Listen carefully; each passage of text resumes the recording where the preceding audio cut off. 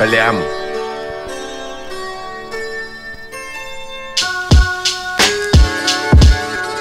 Ленинград – культовая российская рок-группа с богатейшей и интереснейшей историей. Они были отбитыми панками в 90-х, богатыми юродивыми в нулевых, конъюнктурщиками в десятых и чем-то непонятно странным в 20-х. Ну а основатель и бессменный лидер Сергей Шнуров и вообще может считать себя одной из самых скандальных персон шоу-бизнеса, которая по-настоящему перевернула игру. Непристойные песни, трэшовые выходки, отношения с несовершеннолетней, куча алкоголя и веществ конфликты с самыми известными политиками, всевозможные запреты и ограничения. Все это создает образ настоящего бунтаря и противника системы. Но так ли это на самом деле? Кто такой Шнур? Трушный рокер или расчетливый гений? Узнаем прямо сейчас. Всем привет! С вами канал о музыкантах шоу-бизнес, где вы найдете самые подробные биографии. Меня зовут Тёмой. Сегодня мы расскажем вам историю трансформации алкоголика, рокстара и бунтаря в интеллигента, зожника и политика. Присаживайтесь поудобнее, ну а мы начинаем. Наша история начинается 13 апреля 1973 года. В тогда еще Ленинграде в семье простых советских инженеров рождается Сергей Шнуров. С самого детства Шнур совмещал в себе две, казалось бы, противоположные натуры – хулигана и интеллигента. Он всегда варился в среде панков, алкоголиков и наркоманов, но в то же время в старшей школе учился в экспериментальном театральном классе, а также ходил в музыкальную школу на скрипку. Дома же двоюродный брат учил Сергея играть на гитаре родственник тогда был фанатом Deep Purple, а сам Шнуров слушал Высоцкого, кино и Led Zeppelin с Rolling Stones. В холода, в холода от насиженных мест Знаем, что так было всегда Что судьбою больше любим. And my spirit is crying for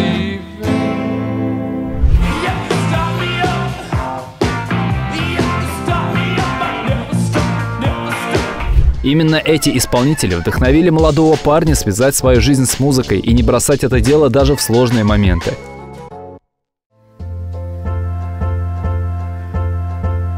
После школы молодой Шнур вместе со своим другом прошли подготовительные курсы и поступили в Ленинградский инженерно-строительный институт, но отучились там недолго. Друга очистили, а Сергей решил уйти вместе с ним. По его словам, ему просто стало не с кем разговаривать. Затем они оба пошли в лицей, где учились на реставраторов изделий из дерева. В этом друзья старались подражать Виктору Цою. После этого парни также вместе отправились в теологический институт на философский факультет, который находился при учебном заведении для подготовки пасторов и приходского актива Евангелической лютеранской церкви Ингрии. Там Шнур познакомился со своей первой женой, однокурсницей Марией Исмагиловой. В 93 году у пары появилась дочь Серафима. Из-за этого события 20-летний парень уходит в академический отпуск спустя три года учебы, который продолжается по сей день. Это понятно, ведь на дворе 90-е, а молодую семью нужно чем-то кормить. Сергей тогда сменил много профессий. Он работал грузчиком в кондитерской, сторожем в детском саду, стекольщиком, кузнецом, столяром, продюсером, дизайнером в рекламном агентстве и, конечно же, музыкантом. В 90-х он сменил два коллектива – хардкор-рэп-группу «Алкорепица» и электронное ухо Ван Гога. До наших дней записи так и не дошли, но если вы являетесь счастливчиком, который застал эти проекты, то напишите нам о них в комментах. Очень интересно будет почитать. Оставляйте лучше ссылки. Шнур, как Генри Чинаски в фактотуме, менял одну работу на другую, пока не пришел на радиостанцию «Модерн», где стал пиар-директором. И если название вам кажется знакомым, то это та организация, из которой впоследствии выйдет шоу «Осторожно, модерн» с Нагиевым и Ростом. В общем, атмосфера была максимально творческая. 90-е были в самом разгаре, и помимо труда Сергей неплохо так отрывался. Исполнитель был известен тем, что часто ввязывался во всевозможные драки, много пил и употреблял. В общем, вел очень нехороший образ жизни. Даже в более поздних интервью певец так описывал это время. Самое яркое впечатление от 90-х – это, наверное, когда я съел 140 грибов. Вот самое яркое впечатление. И каково? Пи***ц. Ну все же тогда все ели, употребляли. Но не 140 штук. Не зря я только что сравнил его с персонажем Буковски. Он является поклонником творчества американского писателя, и в какой-то момент Шнур ставил над собой эксперимент, опускаясь на самое социальное дно, употребляя алкоголь каждый день на протяжении пяти лет. И отчасти это сыграло на руку творческому образу Сергея, ведь такой юродивый соседский алкаш был тогда буквально в каждом дворе. Люди видели в этом что-то знакомое. В 95-96 годах Шнуров решает собрать своих друзей и организовать новую группу. Вдохновившись ностальгией по Союзу и творчеством Пелевина и Сорокина, он стал придумывать названия.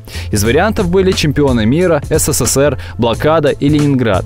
Выбрано было последнее, а в коллектив были приглашены такие же отвязные панки, как и сам создатель всего этого движения. В итоге образовался большой коллектив, в котором были гитары, барабаны и очень много духовых инструментов. Последние стали некой отличающей фишкой Ленинграда.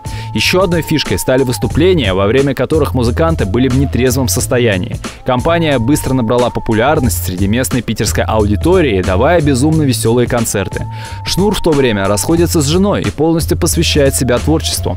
Как позже признавался артист, одной из главных мотиваций начать этот проект были деньги, разгульный образ жизни и женщины.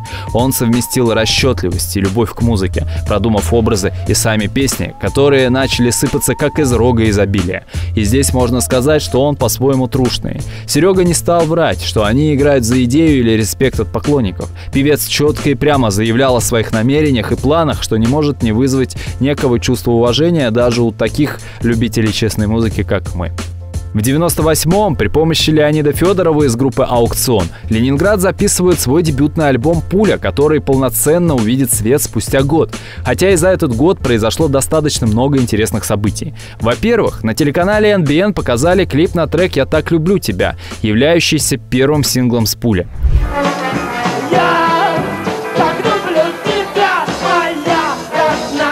Это видео отказалось брать в ротацию MTV, а сами музыканты были недовольны, так как считали, что оно не отражает суть группы. Но тем не менее, в экранизации этого простого и сжигательного признания в любви мы можем увидеть молодого Шнура и Игоря Вдовина, тогдашнего солиста Ленинграда.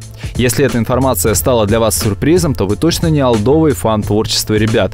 Именно голос Игоря мы слышим на первом альбоме, в то время как Шнуров отвечал за написание песен, гитару и бэки.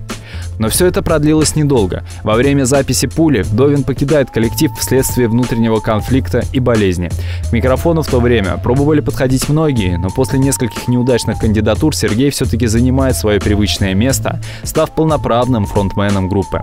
Получилось так, что на момент выхода пластинки на ней звучал голос солиста, которого уже не было, но тем не менее релиз вышел очень даже неплохим. Веселей, давай танцуй, каблуков не жалей, давай, давай, веселее, давай танцуй, каблуков не жалей. Это была динамичная проба пера, в которой молодые музыканты вырабатывали свой стиль. Пусть среди трек-листа нет хитов, которые бы и сейчас звучали в наших наушниках и на концертах. Все же «Давай-давай» и «Зенит» звучат мощно. Стоит и плачет, ты не веришь, что снова нас судьба свела. Отличительной и непривычной особенностью пули является малое количество нецензурной лексики. Может, поэтому эта пластинка не так запомнилась, как считаете? Хотя во все том же 99-м Свет увидел второй альбом «Мат без электричества», и вот тут уже рождается всем нам знакомый и любимый Ленинград со шнуром во главе. Здесь и забавное обращение к девушке по французской помаде.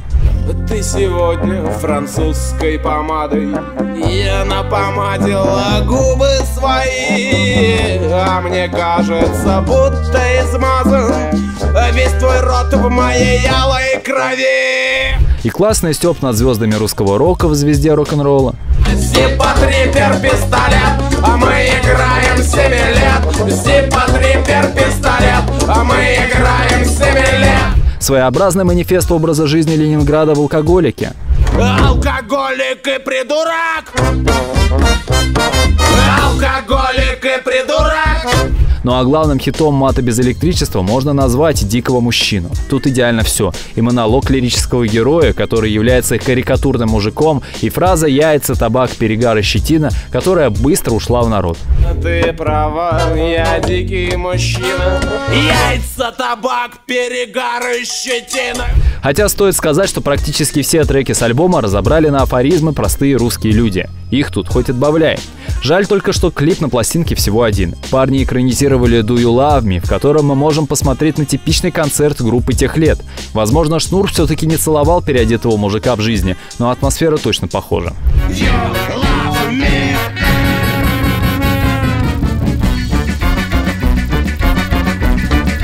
Мат без электричества стал настоящим откровением. Народ был в шоке с того, что песни могут быть настолько простыми, откровенными и нецензурными. Логично, что ни один телеканал и радиостанция к себе это не пропустит. Исключением стал только клип, который стали крутить по MTV. Пираты также справились со своей задачей, кассеты с альбомом разошлись по всей стране, сделав группу одними из самых крутых новичков того времени. Не зря журнал Play внес его в список 85 лучших релизов СССР. Почему СССР, не спрашивайте, я сам не понимаю. Ну а издание Афиша поставило его в топ-50 лучших русских пластинок всех времен по версии молодых музыкантов в 2010 -м. Так закончились лихие 90-е. Действительно громко, весело и под стать тому времени. Далее наступает 2000 год. Ленинград мега популярны, их треки ставят на нашем радио и включают в саундтрек к продолжению ДМБ. Шнур, как он сам признавался, уже перестал считать деньги и перешел из состояния голодного до славы и бабла панков простого мужика-алкоголика из народа, который каким-то магическим образом попал в шоу-бизнес.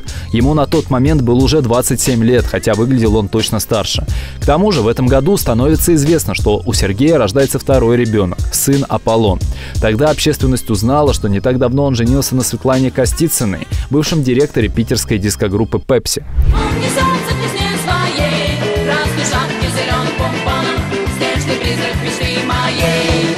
В конце года Ленинград выпускает альбом «Дачники», который продолжает линию коллектива с ненормативной лексикой, живыми инструментами и атмосферой неконтролируемого балагана. Это музыка моя, В трек-листе все так же есть хиты, каждую строчку из которых можно использовать как цитату. И даже если вы молоды и не слышали этих песен, вы точно хотя бы раз слышали про колбасу «Любовь» или культовую фразу про день рождения. Колбаса, любовь, колбаса, колбаса, любовь, просто колбаса ел.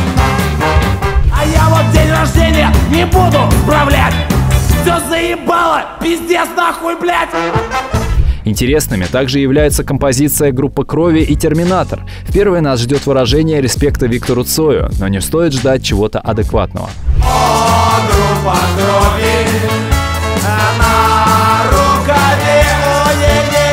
Ну а вторая — это просто хит, который до сих пор играет в колонках миллионов россиян. Но еще ее исполняет Григорий Лепс. По заверению певца, ему настолько она понравилась, что он попросил у Шнурова разрешения петь «Терминатор» на своих концертах. А, ну да. И еще это саундтрек к рекламе средств для потенции. Все же мы помним, что Шнур любит деньги. Теперь один. Я как терминатор.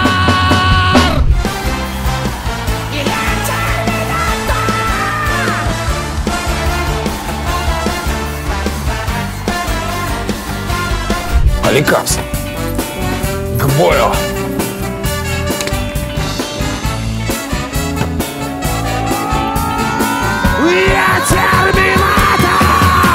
Препарат для мужчин Аликапс. И ты, терминатор. Дачники ожидаемо стали хитом. Этим релизом Ленинград полноценно легитимизировал мат в песнях, выведя его со дворов на большую сцену. Шнур все-таки гениальный маркетолог. Он тонко чувствует, что нужно его целевой аудитории. Ведь помимо классного блатного инструментала, центральной темой пластинки стала жизнь обычного рабочего человека, который задолбался и хочет отдохнуть, но не может. Но в то же время не стоит забывать, что Сергей, помимо алкоголика, еще и начитанный, интеллигентный человек. Поэтому неудивительно, что «Дачники» написаны под впечатлением от романа Сорокина «Норма». Думаю, кто читал его, точно найдет параллели. Следующей нашей остановкой будет четвертый студийный альбом Made in Жопа, вышедший в 2001 Это был релиз, который записан немного сокращенным составом. Именно поэтому полное название этой пластинки Made in Жопа три дебила исполняют неизвестные песни группы Ленинград. Хоп, хип-хоп, оп, хоп, хип-хоп, оп, хоп, хип-хоп, делаем хип-хоп, оп.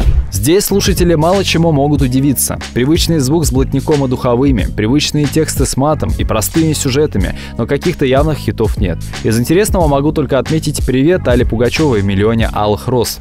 А художник почти скоро вышел из зоны а На базаре скупал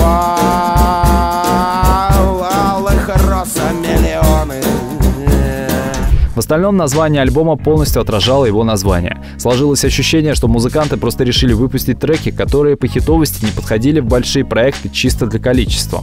Такое же ощущение у меня сложилось и от своеобразной делюкс-версии дебютника Ленинграда. Релиз «Пуля плюс» вышел немного позже, в октябре 2001 По сути, это дополнение из невыпущенных в те годы песен и нескольких новых. Из всех 32 композиций за рамки во всех смыслах этого слова вышло только 3 икса. Двухминутная аудиоистория взаимоотношения мужчины и женщины, выполненная в еще более жестком стиле, нежели другие тексты коллектива. Мало того, что у нее не бритая пизда, у нее еще не бритые ноги, сука! Я тебя ненавижу! Можно сказать, что 2001 год выдался для Ленинграда не самым удачным в плане новых релизов, но очень даже удачным в плане популяризации группировки. Они выступили на фестах «Крылья» и «Нашествия», а также попали в телеэфир программы «Земля-воздух» на ТВ-6. Шнура и компанию боялись звать куда-либо, кроме концертов, потому что ожидали от них неадекватного поведения, мата и прочих атрибутов творчества парней. В целом так и вышло. Полуголый беззубый Шнуров пел песни с матом, стебал ведущего, а музыканты пили, курили прямо на сцене. Что подача? Подача значит вот э, раздеться перед тем, как выйти на сцену. Объясни. Нет, э, ты ECDC видел когда-нибудь? Музыка полное говно, но это моя любимая группа. Два человека на самом деле скрыты в тебе. Правда? Это уже ответ, спасибо. С- Слушай, ты меня паришь, по- по-моему. Ну, не знаю, на- а в тебе три. Во всяком Я случае. читал, в тебе три. Скрыто. Ну окей, тогда... Судя по размеру, если во мне два, то тебе, в тебе, в тебе три точно. После такого перформанса они схватили немало хейта со стороны высокоморальных зрителей и журналистов. Их называли группой однодневкой, быдлом и прочими не самыми приятными словами. Но тем не менее этот эфир также добавил питерскому коллективу немало слушателей, которым надоела прилизанная попса и цензура в музыке. Следующий 2002 стал для Шнура прорывным и богатым на события. Во-первых, в феврале вышел, пожалуй, самый легендарный альбом Ленинграда «Пираты 21 века». А мне все похуй! Я сделан из мяса! Здесь есть все, что нужно русскому человеку. Хотите танцев? Вот вам Come on Everybody. Come on, everybody! Двигай жопой, суки, бляди! Come on, everybody! Хотите угар про беспорядочные половые связи? Резиновый мужик вам в помощь.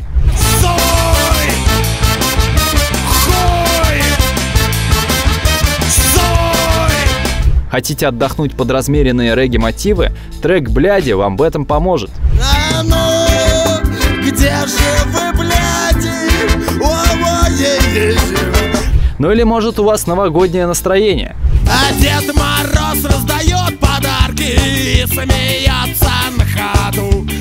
Короче, альбом на все случаи жизни. Конечно, это были не главные хиты. Балом правили ВВВ и «Мне бы в небо». Первое — это своеобразная дань уважения своему родному городу, собравшая всевозможные награды и хит-парады, вознеся Ленинград на вершину русской рок-сцены. А вторая — это душевно-трагическая баллада, которая оставляет грустное послевкусие саморазрушения, что практически не бывает с песнями Шнура. Ленинград,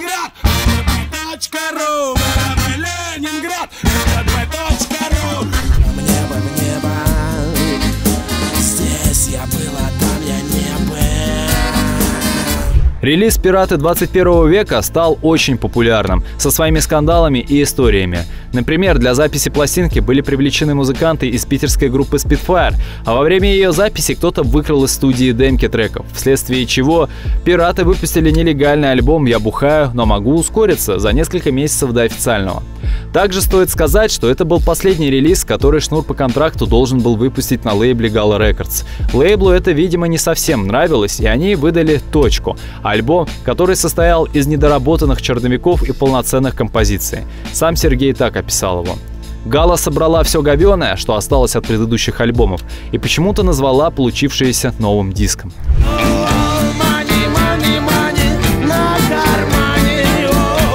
В общем, точка не смогла как-то подобраться к цифрам других представителей дискографии Ленинграда, но тем не менее в истории числится как седьмой студийный альбом. Также в 2002 у Шнура и группы начинаются проблемы. Во-первых, тогдашний мэр Москвы Юрий Лужков запретил все концерты Ленинграда на территории столицы из-за деструктивного творчества парней. Как мы все знаем, регионы часто повторяют за самым большим городом страны, и постепенно выступления стали отменяться по всей России. Самое забавное, что это хоть и осложнило жизнь музыкантам, но добавило им немало хайпа, ведь они стали называть себя самой запрещенной группой страны и играли свои концерты либо за границей, где они собирали полный зал, либо на корпоративах за безумные деньги. Кстати, о деньгах. Второе событие – это буквальный распад Ленинграда. И тут есть две версии. Шнур заявляет, что уволил музыкантов, потому что те просто плохо работали, а те, в свою очередь, говорили о том, что фронтмен не платил им достаточно денег, забирая практически все гонорары к себе. В общем, произошла маленькая революция внутри коллектива. Еще одним удивлением для общественности стала личная жизнь Шнура. Он расстался со своей второй женой, которая два года назад родила ему сына. Спросите, как люди об этом узнали? Да все просто. Он начал встречаться с актрисой Оксаной Акиншиной, вместе с которой снимался в фильме «Игры мотыльков». Самое странное и противоречивое здесь то, что тогда Шнуру было 29 лет, а Акиншиной 15. Напомню, что возраст согласия в России 16 лет. Позже девушка вспоминала то, как начались эти отношения. Этот дурак явился на съемке пьяный, просто никакой. А потом я уже осталась в его номере. Он сказал, ну чего, раздевайся давай. И дело пошло. Они встречались пять лет, и за это время было много скандалов, слухов и прочего. Шнуров даже заставлял Оксану ходить в школу и лично привозил ее на уроки. В том же интервью она так описывала быт. Вытаскивал меня из кровати и тащил в школу. А я хотела спать, упиралась. По вечерам, бывало, напивались, могли влить в себя три бутылки водки.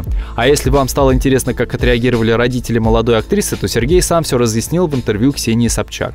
А с родителей Оксаны вас Прекрасные какие-то были отношения сложности на тот Нет. момент? То есть они сразу приняли эту ситуацию, когда Ну. ей было еще 15, они нормально на это отреагировали. Да, да. Вполне нормально. Ну как, были прекрасные отношения. С самого начала. Да. Хоть все это было и по взаимному согласию, отношение 30-летнего мужика с 15-летней девочкой выглядит очень странно и противоречиво. Напишите в комментариях, как вы отнеслись к подобному инфоповоду.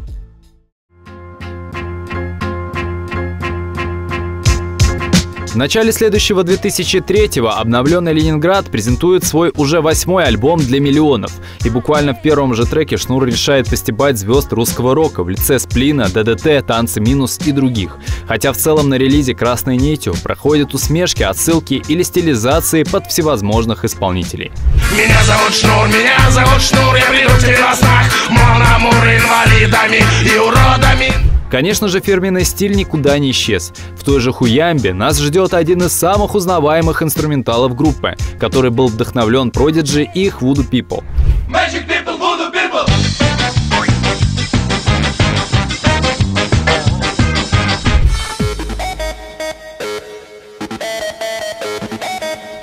Ну и куда Ленинград без песен про женщин? Думаю, название Бабу Буду идеально отражает наполнение. Хотя, думаю, появись она в 23-м, Шнура бы точно попытались отменить.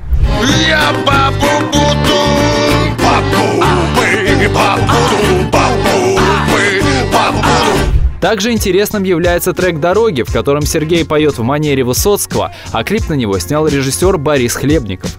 Впоследствии он создаст много фильмов, в том числе классную «Аритмию», как раз-таки с Александром Яценко в главной роли.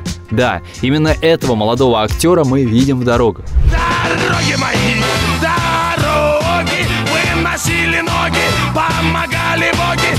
Стоит еще сказать, что именно на «Для миллионов» в композициях коллектива появился женский вокал, причем сразу в двух.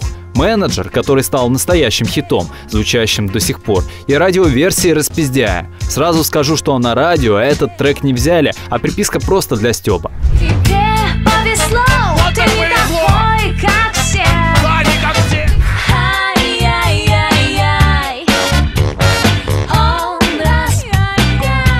Альбом не только не уронил планку, поставленную пиратами, он ее поднял. Музыка стала разнообразнее и качественнее, ну а тексты остались привычно простыми и заедающими. Летом 2003-го Ленинград неожиданно победили на премии Муз-ТВ. Неожиданно, потому что она ассоциируется с попсой, а не с рокерами, поющими нецензурные песни и устраивающими пьяный дебош на сцене. Последнее, кстати, не выдумки. За некоторое время до этого группа вышла полностью голая выступать в Нюрнберге. Ну а как мы знаем, на телеке не принято выступать живьем. Все поют под фанеру. А Шнур выступает только живьем, ведь энергетику балагана и непрекращающегося угара можно передать только с настоящими инструментами и голосом. Короче, они решили поугарать над телеканалом и просто станцевали под фонограмму ВВВ, а потом и вовсе выкинули главный приз в зал. Когда тормозит меня мусор Прописки, мол, нет никакой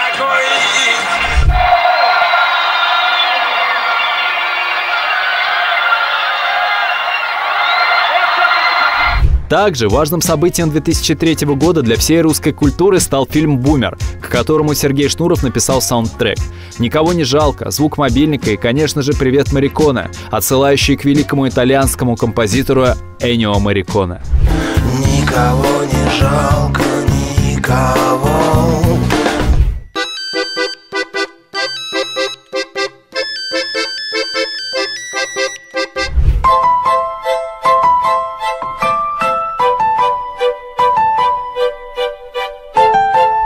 Думаю, все сейчас пустили скупую слезу ностальгии, ведь эта музыка настолько плотно вошла в культурный код России, что ее знают даже те, кто не смотрел фильм, и те, кто даже не родился, когда он вышел. Также в 2003-м Свет увидел первый сольный альбом Сергея Шнурова «Второй Магаданский». Примечательно, что он был издан в рамках серии «Не легенды» русского шансона от компании «Мистерия звука». Тут Шнур уходит от панка к блатнику. Да, отголоски второго часто проскакивали в предыдущем творчестве, но на этот раз им пропитан весь релиз. Хотя все-таки одно исключение есть. Самая близкая к Ленинграду и одновременно самая популярная песня на пластинке «Super Good», которую можно назвать флагманом не только того времени, но и концертным banger ом современного состава. Super, super, super good. Я нормально, super good. Super, super, super good.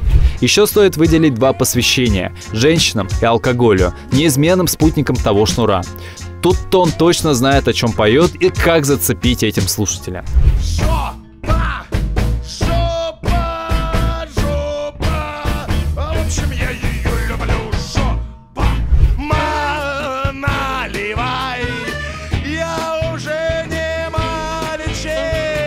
Получился неплохой альбом, который заходит на территорию, казалось бы, жанра, не воспринимающего рок как что-то хорошее. Хотя и Серега не заходит далеко, взяв только музыкальную составляющую и наложив на нее свои классические тексты. Как эксперимент однозначно рекомендую к прослушиванию. Далее наступил 2004 и Ленинград выпускает свой девятый студийный альбом «Баба робот». На этот раз это были не разрозненные хиты, а целостное, концептуальное произведение об обычных людях, работающих на заводе и каким-то образом сдавшим своего друга за робота. Это официальное описание. В общем, история интересная, но, к сожалению, не самая популярная. Лучшим треком здесь можно считать Геленджик, который стал невероятным хитом. Долгое время не покидал русских чартов, а также до сих пор играет на Черноморском побережье. Замечательный мужик Меня вывез Геленджик целом релиз вышел неплохим, но со временем на фоне предыдущих он, конечно, затерялся. Все-таки концептуальные пластинки не самая сильная сторона группировки. Что раньше, что сейчас их больше ценят за отдельно взятые песни. Время шло, популярность Ленинграда только росла, как, собственно, и его фронтмена. В какой-то момент Сергея даже стали воспринимать как отдельного персонажа, а не часть большого коллектива. Его звали актером и телеведущим.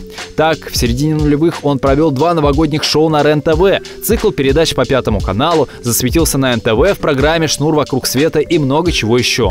Хотя музыку он, конечно же, не забросил. В 2005-м свет увидели сразу два альбома. Первый была «Хуйня». Это, наверное, самое смелое провокационное название пластинки в истории группы. Она была записана совместно с лондонской группой Tiger Lilies. Вся концепция строилась на том, что британцы перепоют пару композиций Ленинграда, а русские, в свою очередь, сделают кавера на иностранных друзей. Получилось неплохо. Особенно интересно послушать треки питерцев в интерпретации Лилий. Тем более, что стиль у них достаточно схож.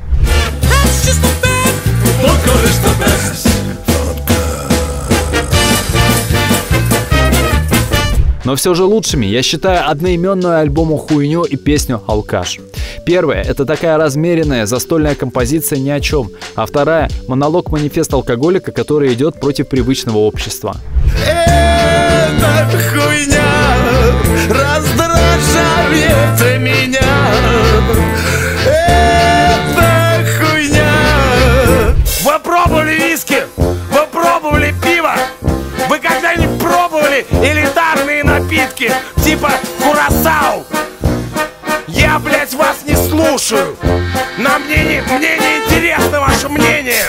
Еще одним релизом 2005-го стал юбилейный десятый студийный альбом Ленинграда «Хлеб».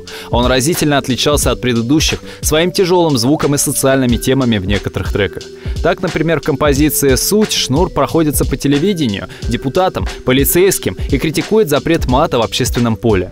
Суть, хуйнуть суть! Суть, хуйнуть суть! Суть, хуйнуть суть! Суть, Хотя и без старого доброго Ленинграда не обошлось. В ФК они под мажорный инструментал сравнивают жизнь обычного человека с футбольным клубом. Футбольный клуб, футбольный клуб, футбольный клуб, футбольный клуб, футбольный клуб. Интересной является песня «Кредит». Во-первых, текст к ней написал Стас Борецкий. Да, это тот чувак, который раскусывает пивные банки на камеру. В ней мы слышим проблемную для общества тему долгов и нехватки денег. Мне кредит бы взять на время, облегчить детишкам бремя. Холодильник, видик, телек, телефон. Но все-таки самым популярным треком альбома является «Свобода» — кавер на знаменитую песню Валерия Кипелова. Если верить интернету, то бывший солист Арии разрешил Шнуру сделать эту версию только при условии, что в ней не будет ни одного матного слова. В целом таки получилось. Я свободен,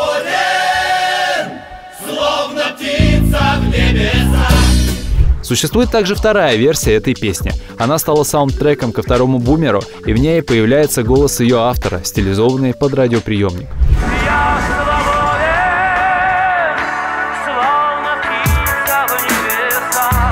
Хлеб однозначно один из лучших релизов Ленинграда как по звучанию, так и по текстам. Шнур впервые решил не стебать какие-то проблемы, а говорить про них прямо, конечно же, не без фирменного питерского колорита. 2006 выдался для группировки достаточно скудным на события. За этот период они отметились лишь очередным альбомом «Бабье лето», выпущенным в ноябре. На нем музыканты вновь решили поменять звучание, вернув легкость и непринужденность. Из самых запомнившихся тем стоит выделить «Без мата», где нас ждет рассуждение на тему надобности обсценной лексики. Невозможно жить без мата. Как вчера была пиздата. А не найдешь другого слова. Если утром так хуёво. Ну и классной получилась песня «П» и «Х», то есть «Плохой и хороший», которой Шнуров не только поет о человеческих качествах, но и заигрывает с хип-хопом в припеве. Плохим быть очень хорошо А быть хорошим очень плохо Плохим быть очень хорошо Хотя все мы прекрасно помним легендарное видео Сергея, где он говорит про рэп, но это уже совсем другая история. Знаешь, почему мне, мне не нравится рэп? Почему? Потому что это музыка пиздлявых. Пиздлявых? Они очень много пиздят и не по делу. Ну есть же нормальный Питрок, Джей Ди, например. Петрока знаешь? Знаю, но мне не нравится очень много пиздежа. Когда, Ну Петрок вообще одна музыка. когда мужчины, он должен сказать коротко и ясно. Пластинка «Бабье лето» под стать своему названию получилась расслабленной, что вполне может зайти фанатам застольных песен балаганного Ленинграда. В то же время тем, кому понравился тяжелый хлеб, наоборот, может отпугнуть. Но тут уже каждый решает сам для себя. 2007 уже был более интересным. Во-первых, в группу на бэк-вокалистку приходит Юлия Коган, или, как ее прозвали поклонники группы, Юля Ноги, за собственно длинные ноги. До этого в тусовке появлялись певицы, но именно рыжеволосая красавица с классным голосом запала в душу слушателя. Также в тот же период в свет вышла уже ставшая культовая российская комедия от квартета «И» «День выборов», где Шнур исполнил хоть и эпизодическую, но действительно легендарную роль. По факту он сыграл самого себя, солиста и лидера рок-группы «Ненормалы», которые спели ту самую песню про выборы. Эй, идет голосование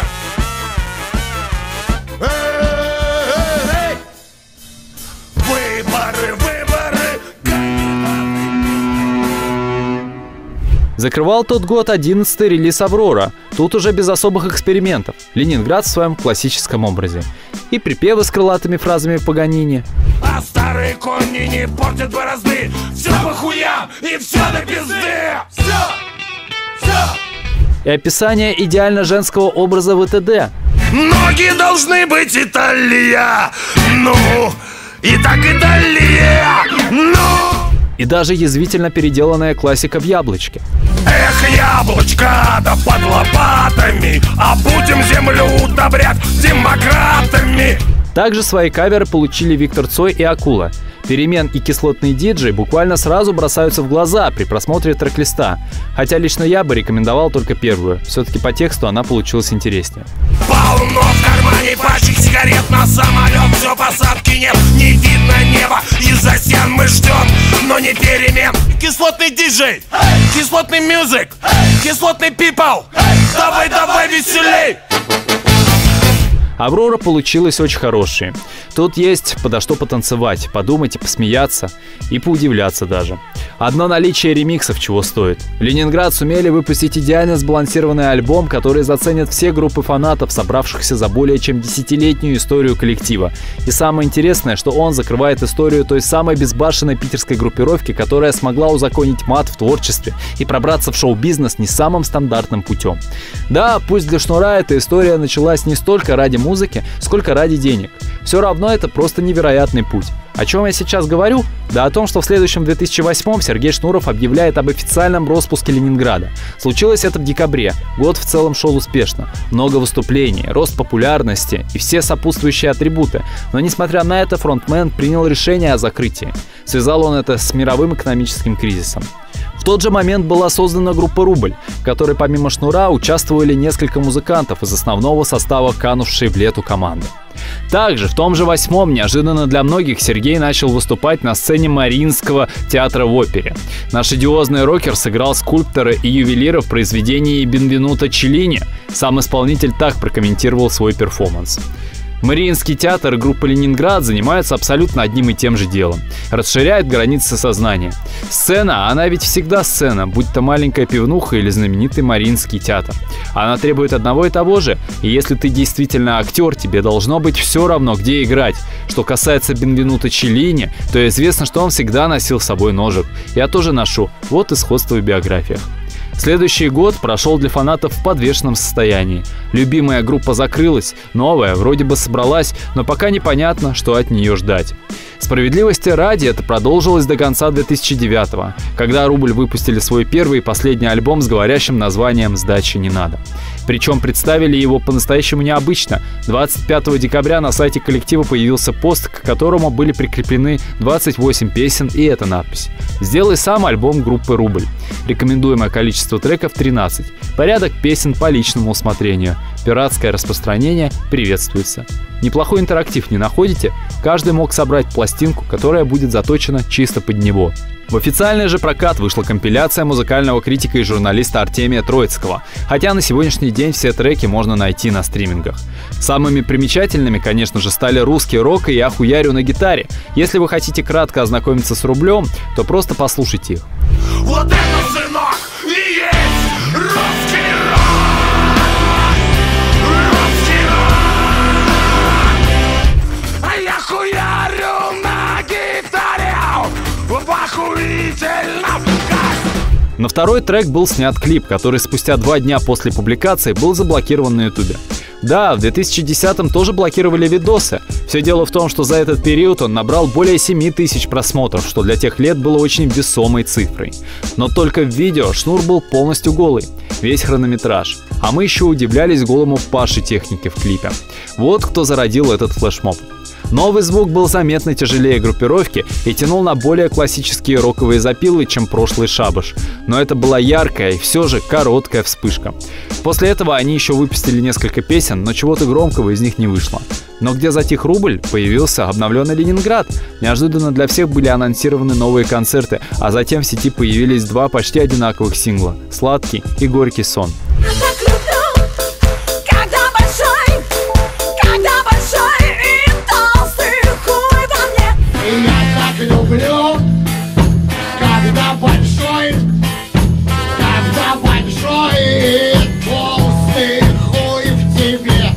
Вышли они с разницей в три дня, и первый исполнила Юли Коган, а второй – один из музыкантов команды Всеволод Антонов.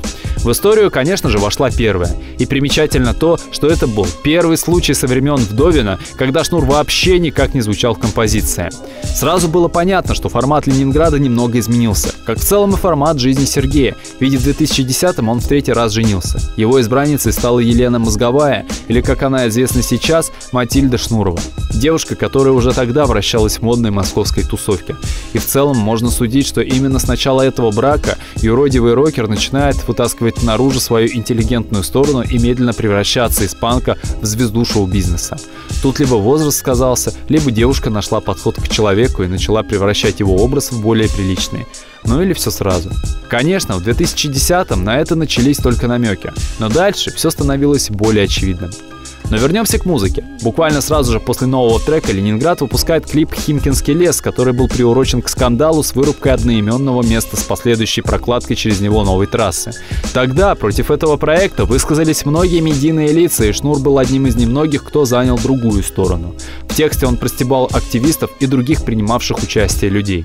Химкинский лес Покупайте билеты, братья, я последний певец демократии Химкинский лес Покупайте билеты, братья, я последний певец демократии Кстати, потом нынешний иноагент Ваня Нойз МС записал ответку «Побрей звезду», где также прошелся по Сергею. На этом короткий биф был закончен, а спустя несколько месяцев, 12 апреля 11 выходит первый за 4 года альбом Ленинграда «Хна», на обложке которого красовалась знакомая всем Юля Ноги. Она и является основным голосом пластинки. Серега здесь скорее на вторых ролях, полноценно появляясь лишь в нескольких песнях. Лучшие из них можно назвать КФПР, ну или как она расшифровывается, какой в пизду рок-н-ролл. Ей он как бы отвечает всем старым фанатам, которые писали комменты о том, что Шнур стал попсовым и перестал играть их любимый панк. Какой в пизду рок-н-ролл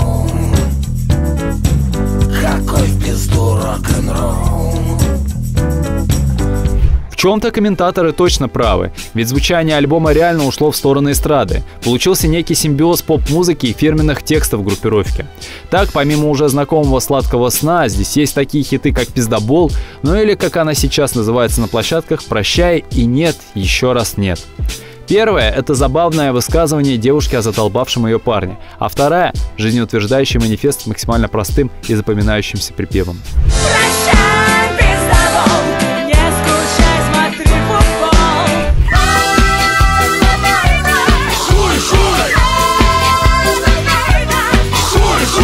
По всей видимости, кроме хны у Шнура накопилось множество песен, и буквально через полгода он выпускает еще один альбом.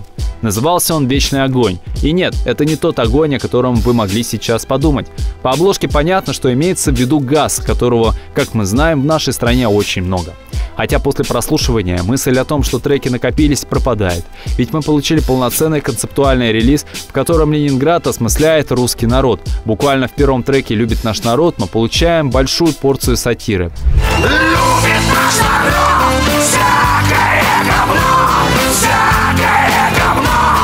Кстати, а вы знали, что существует две версии этой песни? Это сейчас мы знаем ее как хитовый сольник, который обязательно исполняется на каждом концерте. А когда-то это был первый в истории группы Fit. Причем не с кем-то, а с Noise MC и Васей Обломовым. Не знаю, как вам, а мне больше заходит именно это. Любит наш народ Всякое говно Также из трек-листа можно выделить «Силу Руси». В ней чувствуется ирония касательно, опять же, нашего народа, а клип был смонтирован из кадров сериала «Детка», выходившего в те годы. Шнур там сыграл буквально сам себя. Старого рокера, который пытается наладить отношения с дочерью.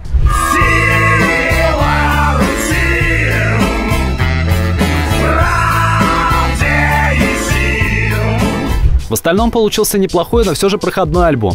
Единственной композицией, прошедшей проверку временем и хитовостью, стала «Любит наш народ». Сам же Сергей так охарактеризовал «Вечный огонь». Здесь есть налет советской эстрады, фанк и диско, дурно понятые советскими композиторами, и это все преломлено через призму моего больного сознания. Я бы это назвал стилем пельмени вестерн. Там есть какие-то ковбойские наигрыши в советском понимании. Далее Ленинград затих, катаясь по концертам и корпоративам. В инфополе они появились в октябре 12 -го. И не с пустыми руками, а с пластинкой «Рыба».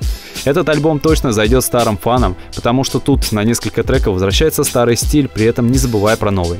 Также продолжилась социальная тематика. В композиции «Вода» мы слышим критику власти от лица простого обывателя.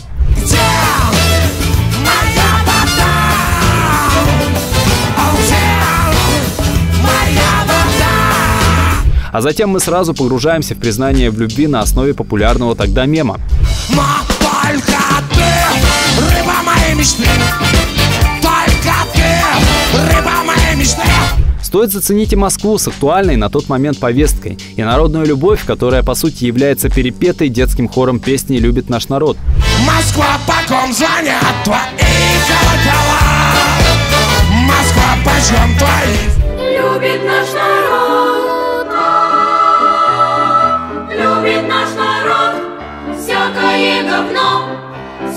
всякое говно, любит наш народ. После выхода «Рыбы» становится известно, что Юлия Коган беременна и скоро покинет группу. Она еще немного покаталась по концертам, но уже тогда ей на смену пришла Алиса Вокс. После, в 2014-м, Ленинград выпускает сразу два альбома. Это были «Пляж наш» и «Фарш». Хотя как два? По факту это был один альбом, который почему-то был продублирован под разными обложками и названием. Различия были лишь в паре треков, но стоит сказать, что внимание тут достойны только две темы – «Патриотка» и «Дорожная».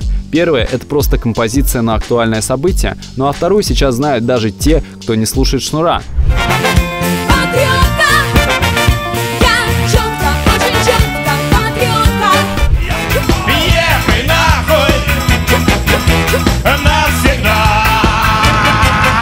С 2014 становится все сильнее заметно преображение Сергея Шнурова. Он сам признавался, что в тот момент понял, что уже получил признание от практически всех слоев населения, и ему стало интересно забрать в фан-базу Ленинграда новых адептов.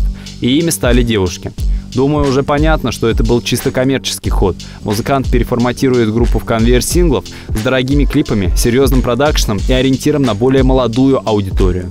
Именно тут можно сказать, что панк в майке алкоголички окончательно пропал, и на смену ему пришел интеллигентный, начитанный бизнесмен, который, тем не менее, матерится и пишет стебущие все и вся песни. Поклонники первых релизов, конечно же, были не в восторге от этого. Тут как нельзя кстати подходит это видео. Какой же ты друг после этого, а? Ты меня бросил ради баб! Ты бросил нашу философскую жизнь ради баб, чтобы с ними поебаться! Я пошел отсюда! Меня нет больше, я пошел кидаться под колеса! Первыми ласточками вирусных синглов стали «ЗОЖ», «Отпускная» и «Бомба». На все были сняты качественные клипы с известными личностями, а также их исполняли разные участники Ленинграда. Забавно, что в «ЗОЖе» Серега стебал спорт, а спустя несколько лет сам принял участие в марафоне. Ведь если в башне поебень, то что ебень, что не ебень Если в башне поебень Охуела жена Ты баба-бом, бам, ты баба-бом, бам, ты баба-бом, ба-ба-ба-бом, ба-ба-ба-бом, бам. Да, были и другие треки, но эти все-таки взорвались сильнее всего. Что ж, схема отработана, пора выпускать тяжелую артиллерию. В январе 2016-го Свет увидел сингл и клип «Экспонат», ну или как его называют в простонародье, «Лабутены».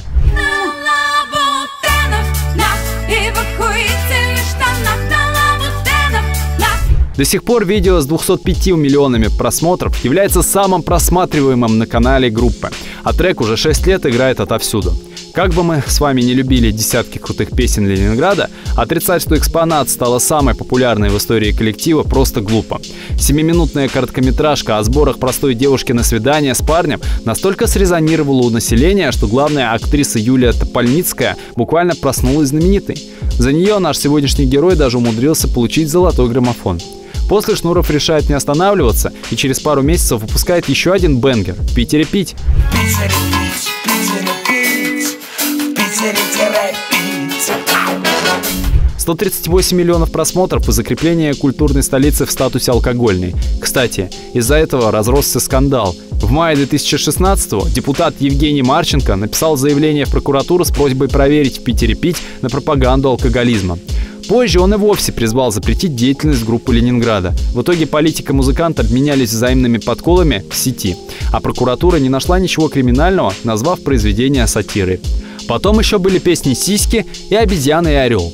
Первая иронизировала над мечтой многих девушек, а вторая над трэшовыми ток-шоу. Забавно, что на одном из таких ведущим в тот момент работал Шнуров. Это была программа про любовь, и по идее это было нечто похожее на мужское-женское на том же первом телеканале.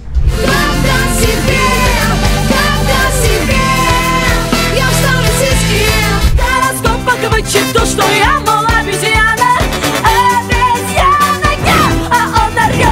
В этот же момент Алиса Вокс покидает группу и начинает сольную карьеру, а на место девушки пришли сразу две певицы – Василиса Старшова и Флорида Чентурия.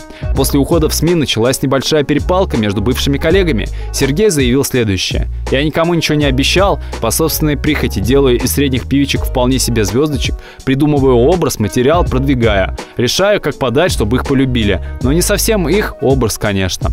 Усилиями нашего коллектива мы создаем героини мифа из ничего. Это наша работа. И именно из-за того, что мы неплохо делаем свое дело, возникают претензии и недовольство. Зрители любят образ, сделанный нами, и очень не хотят конца. Но он неизбежен. Придуманные мной и сделанные коллективом героини мифа довольно быстро и наивно начинают сами верить в свою божественную природу. А с богинями мы не умеем. Мы тут горшки обжигаем. В общем, 2016 был по-настоящему прорывным. По его итогам журнал Forbes поставил Шнурова на третье место в списке самых богатых звезд спорта и шоу-бизнеса с доходом более 11 миллионов долларов. 2017 запомнился новой порцией вирусных синглов и началом работы с Ильей Найшуллером в качестве режиссера клипов группы. Именно он сделал видео на треки «Кольщик» и «Вояж». Если первый — это просто крутая работа с интересной идеей, то второй — это точно лучший клип Ленинграда за всю ее историю. Это, конечно же, мое видение, и вы можете его оспорить в комментах, но тут прекрасно все. И Александр Паль, и конь в стриптиз-клубе, и невероятный экшен. Наколи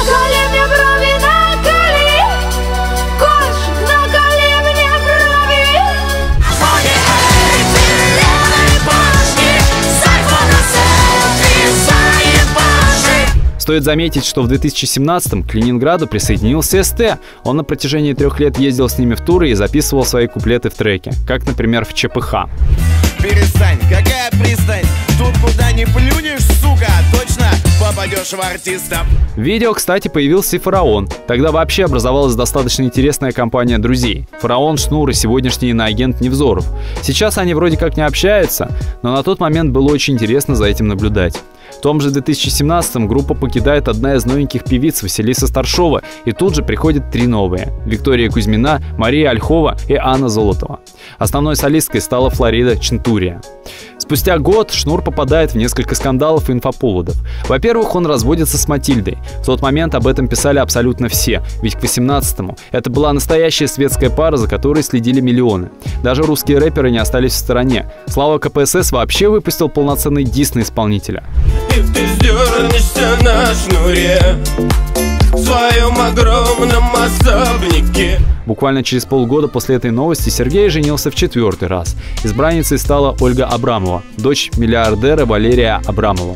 Поклонникам такая рокировка показалась странной, и вокруг новой пары ожидаемо образовалась масса слухов о браке по расчету. Но по прошествию времени можно сказать, что это лишь слухи. Музыки в этот период было тоже предостаточно. Ленинград выпустил множество синглов, самыми успешными из которых стали фантастическо-социальный боевик «Не Париж», совместный с глюкозой СТ «Жужу» и вызвавший споры «Не хочу быть москвичом».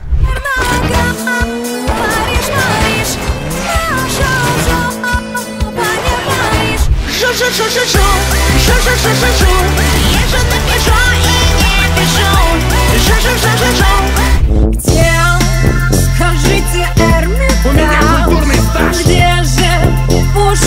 Также в 2018 вышел последний на сегодняшний день альбом группы «Всякое». Хотя это скорее больше похоже на EP, и он как будто прошел мимо всех. Тут не было чего-то вирусного или ярких песен на злобу дня. Конечно же, не считая трека «Путин», в котором Шнур рассуждает о сложной жизни президента. Невозможно сложная у Путина стезя Вроде бы ему все можно, но нельзя Сам певец так описал эту пластинку. Последние годы, если честно, не было ни времени, ни сил на то, чтобы посидеть неделю-другую в студии. И вот у нас открылась новая рэп-точка, что немаловажно, в двух шагах от моего нынешнего места проживания. Это и поспособствовало записи нескольких необязательных композиций. Также стоит отметить, что в этом году Ленинград побил рекорд посещаемости одного концерта. Они собрали полную Санкт-Петербург-арену, а это более 65 тысяч человек на одном выступлении. Конечно, спустя пару лет это достижение побьет Сергей Шнуров, собравший в Лужниках 72 тысячи, но на тот момент это был невероятный результат. В следующем 19-м нас ждал последний по-настоящему продуктивный год в качестве артиста. Во-первых, вышло два неплохих сингла «Кабриолет» и «Иисус». За последний, кстати, коллективу неплохо попало от высокоморальных и верующих людей. Но ни во что серьезно это не вылилось.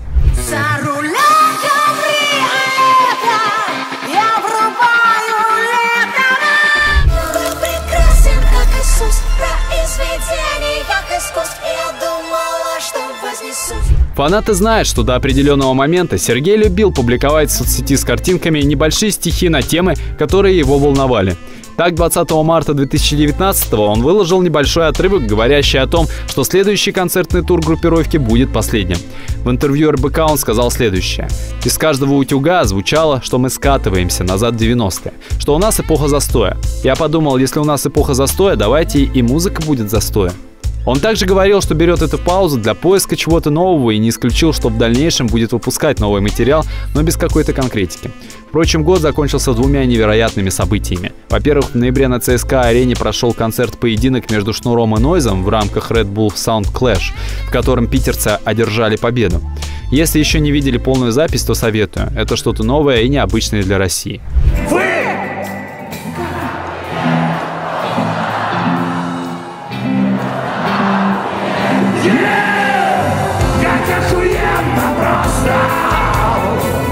Ну а вторым событием стало приглашение Ленинграда на Коачелло, самый крупный музыкальный фестиваль мира. Шнуров должен был стать первым в истории русскоязычным музыкантом, выступившим на главной сцене. Но впоследствии все отменилось из-за коронавируса, пандемии и событий 22 года. Место группировки занял белорусский постпанк коллектив «Молчат дома».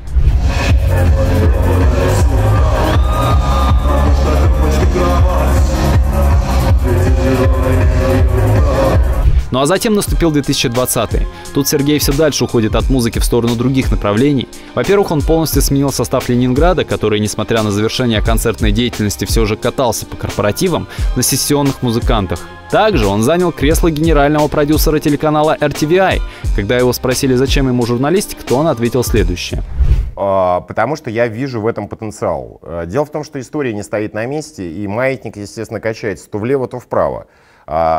Этой моей цитате, наверное, лет пять тому, э, на тот момент э, как раз э, я предвидел пиковое развитие блогеров, интернета, всех социальных коммуникаций, социальных площадок. Это все и осуществилось. Теперь я думаю, что будет обратный ход. Я хочу быть впереди этого тренда. Я его не хочу быть последователем, да? Я хочу быть первым.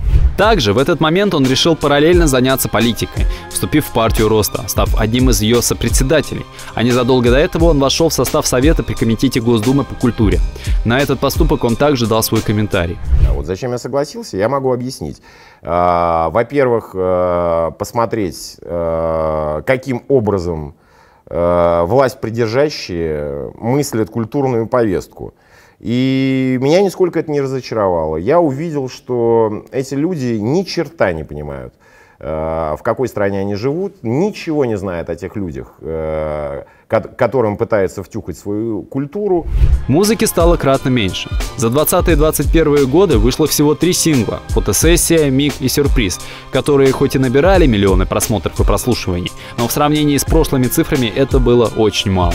Кстати, последний трек был исполнен совместно с новой солисткой и отдельным продюсерским проектом Шнурова певицей Зоей. Фото выложу, потом его сотру.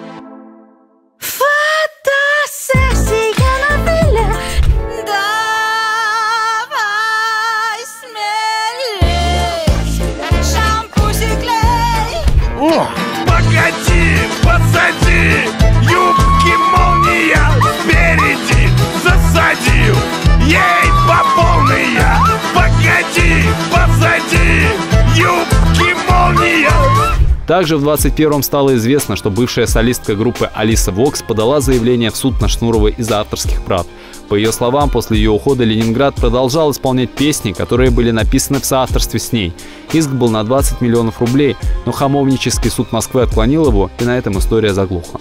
Еще один скандал разгорелся в самом начале 22-го. Тогда Шнур выложил клип «Пока так», в котором открыто критиковал питерских чиновников и лично губернатора Беглова за то, что в городе колоссальные проблемы с уборкой снега и мусора. В Питере говно, пока так. Их наш город не ебет А Бегловская лопата Где и что она гребет На исполнителя тут же накинулись с претензиями несколько популярных людей, на что он ответил треком «Покаянная», где берет на себя все проблемы с уборкой города и признается в любви губернатору. Сарказма ничего более. Я теперь люблю Беглова Беглов, my love, Беглов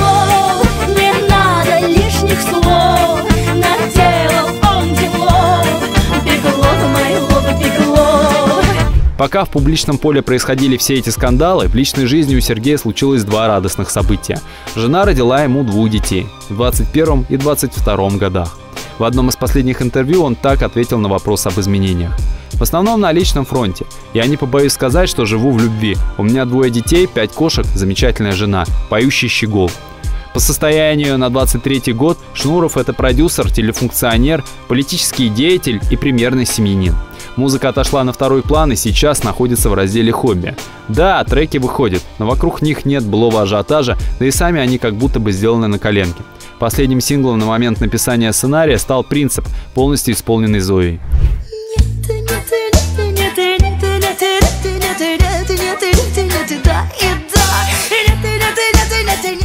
Шнур уникальный персонаж для российской музыкальной сцены. Умный человек, который сам проложил себе дорогу от питерских колодцев до высоких московских кабинетов очень необычным и веселым способом. В этом плане он может быть примером того, что даже находясь в максимально деструктивной и сложной среде, можно стать успешным благодаря уму и трудолюбию. В каждое из десятилетий он был разным. В 90-х молодым, перспективным и, что немаловажным, расчетливым панком-музыкантом, берущимся за любые эксперименты, как в творчестве, так и над своим организмом. В нулевых популярным и богатым алкашом с образом юродивого и простого мужика из народа, легитимизировавшим мат в популярных песнях. Десятых взрослым интеллигентом, который еще больше зарабатывает, меньше пьет и реформирует Ленинград под более конъюнктурную музыку. В двадцатых это расчетливый бизнесмен, котором мало что осталось от первоначальной версии. Хорошо это или плохо, решать вам. Пишите в комменты, какая версия Шнура вам нравится больше всего. Ну а на этом все. С вами был канал Шоу Биз, меня зовут Тёма, а это была история Сергея Шнурова и группы Ленинград, одной из самых культовых и новаторских групп в истории русской музыки. Ставьте лайки, переходите по ссылкам в описании и не забывайте про колокол. Океан музыкальной ностальгии только на Шоу Бизе. Мир всем местным. А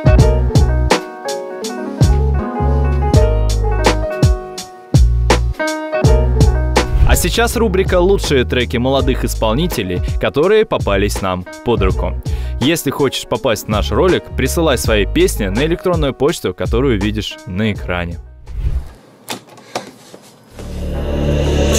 Петля на шее, стул и стукан Это чей-то конец, не летит кукулькан И из тела кулька души. Требуха Упадет на линолеум, как шелуха. Не сможет подняться даже по лестничной клетке. Ей не помогут соседки. Даже если затащат на крышу высотки Простаки, несмышленые детки. Даже если как змея воздушного Душу эту за ниточку выкинут вверх Найдутся какие-то самые ушлые. Не долететь ей, не полететь. Она точно же щучкой вниз на асфальт Как кипятком переполненный гантон Так плевать, ей давно себя не жаль. Рваный латекс вместо эфира брызги кругом. Да и то, это все не конец, не на том Завершен этот путь, будет все чередом Капли светлого в пятна, водоворот Упадут и мешая с дерьмом. Вспоминать будут дом